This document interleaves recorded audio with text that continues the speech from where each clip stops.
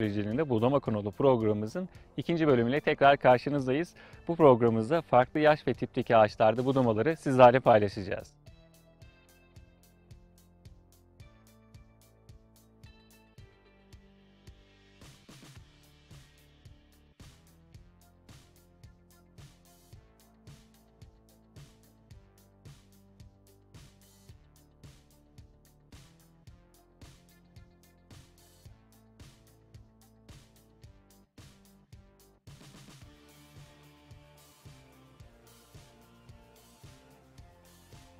Bahçesinin ilk kuruluş materyali fidandır.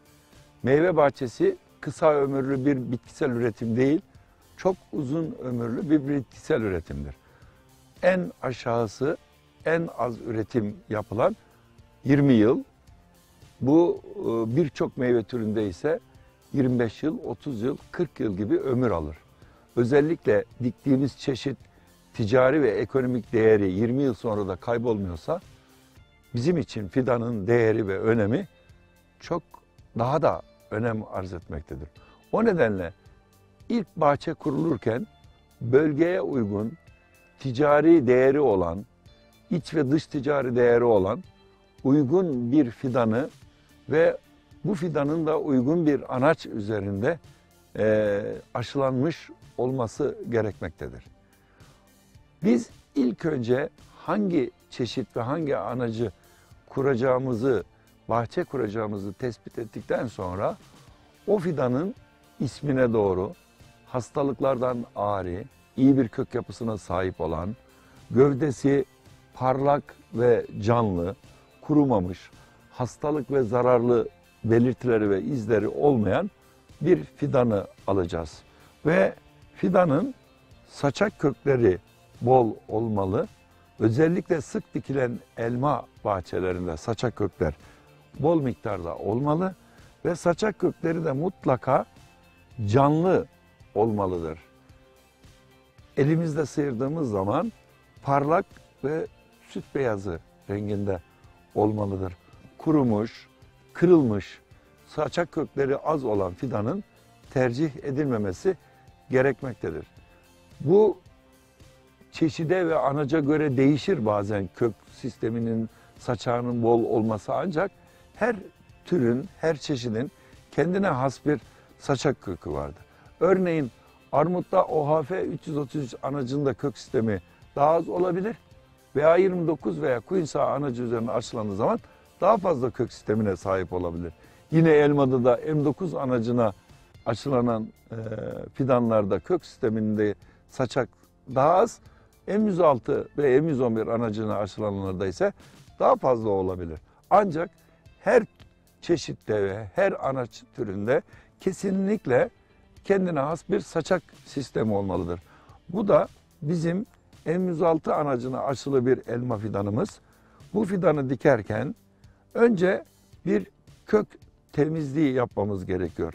Aynı şekilde böyle uzamış kökleri kısaltmamız, kırık ve kalın saçak kökü olmayan kısımlarının kesilmesi, üst üste gelen yaralanmış köklerin kesilmesi, yine bakın kök ucu yaralı kesilmesi, fazla uzun kökler varsa kesilecek.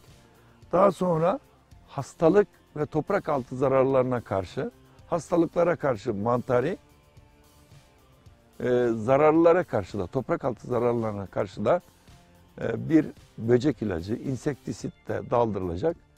Ve daha sonra bu dikim için hazırlanmış bir fidan haline gelecek. Biz böyle bir dalı olmayan fidan satın aldığımız zaman bazı fidanlar kolay dallanırken bazı fidanlar daha az dallanırlar. Örneğin Granny Smith, Golden, e, Süper Şif e, daha kolay dallanırken e, super çeşitlerde daha az dallanma meydana gelebilir.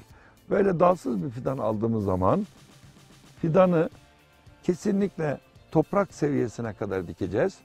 Topraktan 95 santimetre mesafede ve aşı gözüne bakan buradaki meyile bakan bir gözden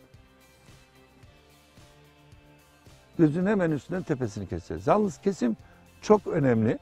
Kesimin hemen göz üstünden olması ve gözün tersi istikametinde 15 derecelik açıyla kesilmesi gerekmektedir. Biz bir yıllık sürgünün ucunun kesilmesine uç kesimi diyoruz. İster lider dalda ister yan dalda bir yıllık sürmüş sürgünün ucuna uç kesimi diyoruz. Bir yıllık sürgün ne? Yaz başlangıcından yaprakların döküldüğü döneme kadar vejetasyon dönemi dediğimiz büyüme dönemi dediğimiz bu döneme kadar geçen süre bir yıllık sürgündür. Bir yıllık sürgünün ucunu kestiğimiz zaman kesim yerinin altındaki ilk göz lider olacak. İkinci, üçüncü ve dördüncü gözlerde lidere rakip olarak büyüyecektir. Dar açılı büyüyecektir. Kesinlikle hiçbir terbiye ve budama sisteminde dar açılı, kalın gelişen dal istemiyoruz. Lider dik ve güçlü gelişecek.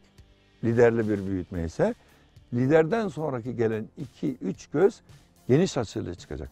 Ancak bir yıllık sürgünün ucu kesildiği zaman her zaman uç kesiminde kuvvetli süren bir lider, ikinci göz lidere rakip, bazen de ikinci göz, ikinci sürgün lideri geçebilir. Üçüncü göz yine dar açılı lidere rakip olarak büyüyecek. En fazla dört tane bir dal çıkabilir lider dahil. Dört dal çıkabilir ve bu dört dal dört dalın altındaki dalların çıkışına engel olur. Biz buna teknik olarak apikal dominansı halkın anlayacağı bir dille üst gözlerin alt gözlere baskınlığı diyoruz. Yani üst gözler alt gözlerin çıkışını engelliyor. Üst gözler dar açılı çıkıyor. Alttaki gözlerden sürgün çıktığı çıkmış olsaydı onlar geniş açıyla çıkacaktı. İşte üst gözler alt gözlerin çıkışını engelliyor. Burada bir hareket yapmamız gerekiyor. Kesim yaptıktan sonra sürgünler 2 santim olduğu zaman 2 santim olduğu zaman biz lideri bırakacağız. Liderden sonraki ikinci, üçüncü, dördüncü gözleri avucumuzun içerisine gözleri gelen gözleri koparacağız. Bu gözler 2 santim olunca avucumuzun içerisine gelen ikinci, üçüncü, dördüncü, beşinci gözü koparacağız ki aşağıdaki gözlerin daha geniş açılı ve çıkmasını sağlasın diye.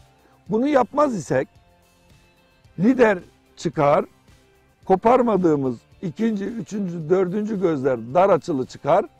Bunu genişletmek için ne kadar uğraşırsak uğraşalım açısını genişletemeyiz. Açısını genişletemeyince daha sonraki yaşlı ağaçlardaki fidanlarda ağaçları anlatırken dar açılı dalların ne kadar sıkıntılı olduğunu göstereceğim. O zaman en önemli nokta bir yıllık fidanın tepesini kestiğimiz zaman ikinci, üçüncü, dördüncü gözleri koparacağız ki aşağıdan geniş açılı çıksın. Yalnız bulunduğumuz yer rüzgarlı bir bölge ise bir tane lider bırakacak olursak o lider de kırılırsa kırılırsa biz lidersiz kalabiliriz. O nedenle rüzgarlı bölgede çalışırken birinci gözü bırakalım lider olsun diye. İkincisini de ona ihtiyaten tedbir olarak bırakalım ama daha sonra kaldıracağız. Daha sonraki üçüncü, dördüncü, beşinci gözleri koparalım. Lider belli bir büyüklüğe gelince bu rakip olmasın diye ucunu hafif kırabilirim. Koparabilirim ki yine liderin başına bir sıkıntı gelirse bunu lider olarak kullanın diye. Ama lider garantili bir göz haline geldiği zaman da bu lidere rakip olan ikinci dalı koparacağım. Bizim amacımız dallı bir fidan elde etmek bundan. Ama nasıl? Liderin 4-5 göz altından sağa, sola, kuzeye, güneye yani değişik yönlerde 4-5 tane geniş açılı çıkan bir dal elde etmek amacımız. Bu da bize bu 4 tane gözün kaldırılması en büyük faktördür. Dallar 4-5 tane olacak dedik geniş açıyla çıkan değişik yönlerde. Yerden de 60 santimetreden itibaren en az dallar başlamalı. Bu kuvvetli gelişen elma çeşitlerinde ki bunlar Golden, Granny Smith, Fuji, Gala, Jeromini gibi çeşitlerde bunlar yerden 70 santimetreden başlarsa daha iyi olur. Supur gelişen Scarlet Supur, Super Shift, Red Shift, Oregon gibi zayıf gelişen elma çeşitlerinde de yerden 60 santimetreden dallar geniş açıyla başlayabilir. O zaman 60 santimetrenin altında dal oluşmuşsa o dallar 5-10 santimetre olunca makasla almayalım diye elimizle aşağı doğru sıyıracağız. Ve sıyırma işlemi yaptıktan sonra yaralardan herhangi bir zararlı mantar girebilir diye de mutlaka bir e, mantari ilaçla ilaçlamak çok daha iyi sonuçlar verecektir. Sağlıklı bir fidanın büyümesi amaçla. Şimdi bu şekilde dalsız bir fidanın dikimini anlattıktan sonra bazen supur gelişen çeşitlerde fidanlar zayıf olabilir. Biz supur gelişen çeşitlerde yerden 95 santimetre değil de 80 santimetreden uç kesimini, tepe kesimini yapabiliriz. Bu fidanların zayıf gelişen çeşitlerin fidanları bazen küçük olabilir. Bu böyle bir fidan aldığımız zaman yerden 80-85 santimetreden tepesini keseceğiz. Yine konuşmamızın başında söylemiştik. Zayıf gelişen Scarlet Super, Super Shift, Red Shift gibi çeşitler daha dik açılı dallar çıkarırlar ve daha az dallar meydana getirirler. O nedenle bunların mutlaka yine 4-5 tane gözün avucumuzun içine gelen 4-5 gözün koparılması başlangıç için çok önemli bir konudur. Yine aldığımız bir fidan dalsız olduğu gibi 3 tane 4 tane dalı olan dal olabilir. Ancak bu dallar geniş açıyla çıkmış fakat 3 yönde tek yönde çıkmış. Bu taraftaki yönde dalı yok. Böyle bir fidan aldığımız zaman bu fidanların dallarını şu şekilde yere paralel olacak şekilde keseceğim. Yere paralel olacak keseceğim üçgen şeklinde ki bunun altlarından yeni dallar çıksın diye ve kesim yerinin üstünden kesim yerinin buraya bakan bir gözden yine 95 santimetreden keseceğim ve avcumun içerisine gelen 3-4 gözü koparacağım. Bu fidanımın kök kısmında kazık kökleri yok. Saçak kök kökleri bol ama söküm aşamasında şu kısım yaralanmış. Bu yaralanan kısmını yine düzgün bir şekilde keseceğim. Bazı fidanlarımız burada olduğu gibi bu fidanlarımız da gayet iyi dallanmışlar. Görüldüğü gibi yerden 60-70 santimetrede geniş açıyla çıkan çok sayıda dal vermişler.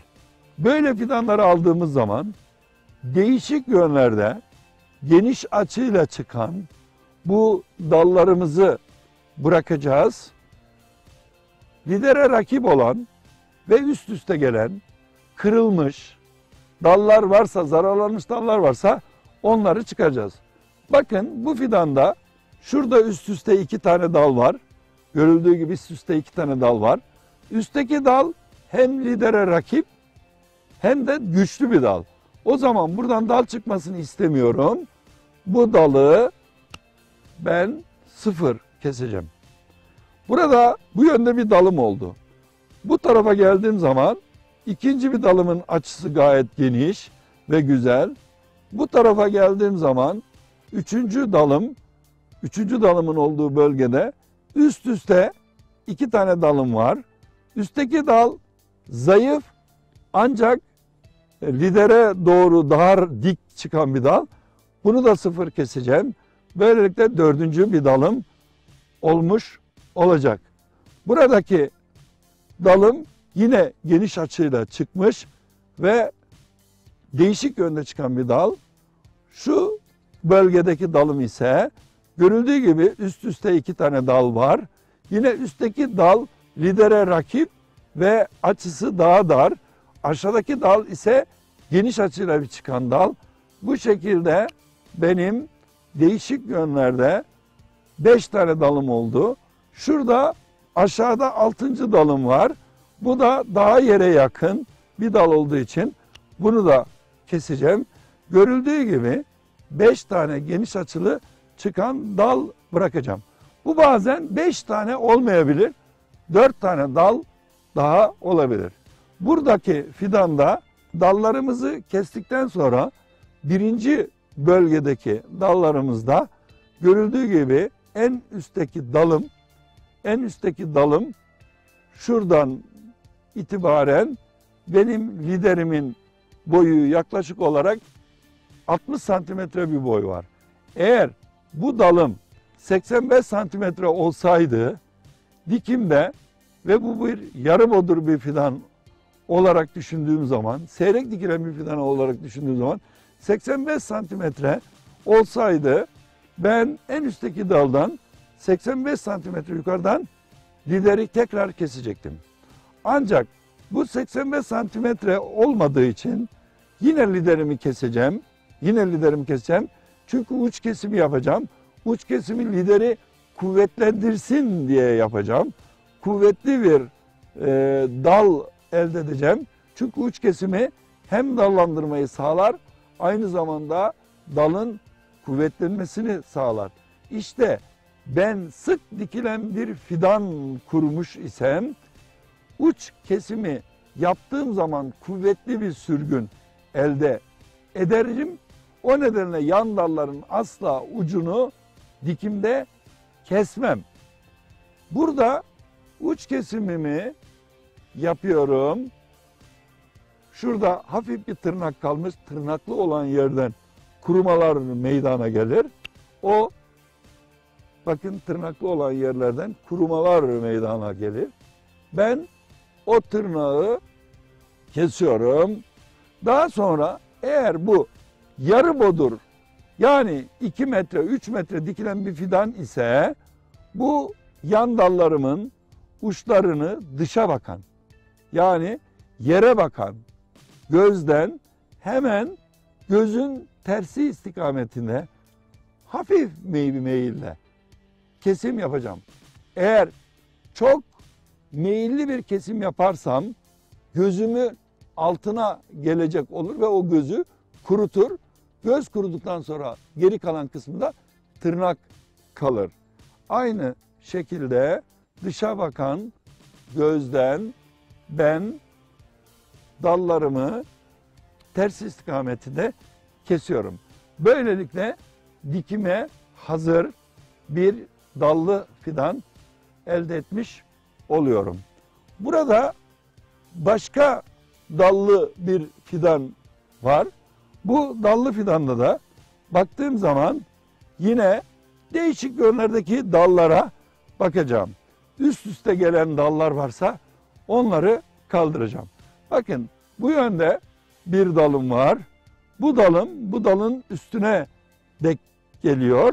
O zaman ben bu dalı çıkaracağım. Bu tarafta bir dalım. Burada araya giden ikinci geniş açıyla çıkan bir dalım. Üçüncü bir dalım. Bu tarafta dördüncü bir dalım var. Bu tarafta ise bakın daha kuvvetli bir dalım var ama açısı geniş. Burada bir dal daha ihtiyacım olduğu için ben bu dalı diktikten sonra geniş açıyla bağlayabilirim. Gördüğünüz gibi değişik yönlerde çıkan bir dala sahip oldum. Liderim en üstteki daldan itibaren baktığım zaman liderimin yaklaşık olarak 85 santimetre civarında olduğunu görüyorum. O zaman en üstteki daldan 85 santim yukarıdan bu tırnaklı kesime yönündeki bir gözden keseceğim. Eğer bunun aksi bir gözden kesersem, bu taraftaki aksi bir gözden kesmiş olursam, bu göz bu yana doğru patlayacağı için benim sürekli olarak dengem o tarafa kayacak. Dengeyi bu tarafa sağlayabilmek amacıyla buraya bakan bir gözden yine aynı şekilde tekrar ediyorum sürekli. Çünkü gördüğümüz bahçelerde aynı hataları görüyoruz. Gözün tersi istikametinde çok hafif bak. Makasımı düz tutuyorum ama hafif 15 derecelik meyille tersi istikametinde kesim yapıyorum. Eğer bu fidan sık dikilen yani tam bodur dediğimiz ister erik, ister nektarin, ister kayısı, ister şeftali hangi olursa olsun dikilmiş olsaydı ben bunların ucunu kesmeyecektim. Çünkü sık diktiğim fidanda zaten bu yan dallarımın uzunluğu 40-50 santimetre civarında. 1 metreye dikilmiş bir fidanda bu fidanın yan dalı sağa 50, sola 50 santimetre mesafede ona yer bırakılmış. O mesafede gidecek. O zaman ben bu fidanımın ucunu kesecek olursam uç kesimi nedir dedik? Dalı kuvvetlendirir ve dar açılı büyütür ve hızlı büyütür, güçlü büyütür. Benim zaten dalım kendisine bırakılan yüzeyden ve mesafede olduğu için ben bunun ucunu kesemem. Hem uç kesimi aynı zamanda uç kesimi meyve verimini geciktirir. Çünkü büyüme ormanları bu sürgünün ucuna gelir ve sürmeyi teşvik eder. Büyüme ormanlarının yanındaki geldiği gözün yanındaki yani kesim yaptığım yerin arkasındaki dallar da dallanma meydana gelir. Oysa buralarda tamamen meyve gözü oluşacak. Diktiğimiz 2015 yılında vejetasyon süresi dediğimiz büyüme dönemi boyunca burada yan dallar meydana gelecek. Bir de bilinmesi gereken çok önemli bir nokta var. Dik dallar sürgüne, yatık dallar ise hem zayıf gelişir hem de meyveye yatar. O nedenle biz açıyı geniş istiyoruz. Bu şekilde dik dallar var ise dikimi yaptıktan sonra bizim daha evvelden seyircilerimiz çok iyi bilir. Tekvando hareketi dediğimiz yani fidanın dalı hangi yöne rahat gidiyorsa ki bu dal bu yana gidiyor. Bunu kendime doğru çekeceğim ve geri vitesi takmış gibi aynı yönüne getireceğim. Böylelikle açısını genişletmiş ve meyve gözüne yatırmış olacağım. Demek ki buradaki ayrım ne? Seyircilerimizin bileceği dik dallar sık dikilmiş hangi meyve türünde olsa olursa olsun yere paralel büyütülecek ve geniş açılı büyütülecek. Meyveye yatırılacak. Sürgün çok kuvvetli ise mutlaka ucu şurada görüldüğü gibi aşağı doğru meyilli yapacak.